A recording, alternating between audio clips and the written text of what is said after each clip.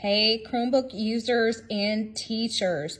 Google has released a brand new screencast application for Chromebooks that you and your students can use. So you're gonna look for that green icon. You have to be running Chrome iOS 103 or higher.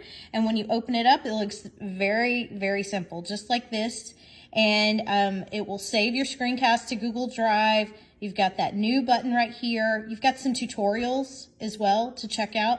Click on new screencasts and this is where you can click anywhere to record full screen.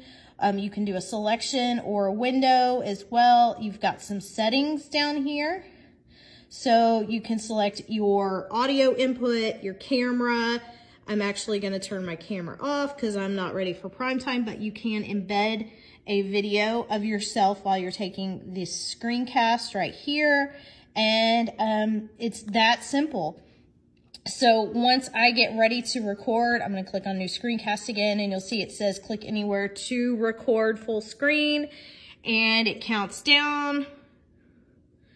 And then we also have the option to annotate. You'll see your recording button down in the bottom right and we can write on top of our screencast videos and we can simply click on the stop button to stop the recording.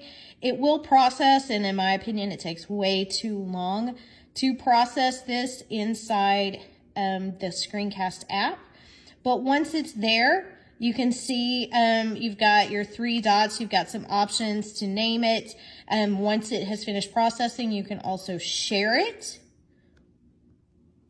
and last but not least, once it's finished processing and you open it up, you will see that you can play the video, but you also get a transcript that is time-stamped exactly where it happens in the screencast. So y'all go check it out on your Chromebooks.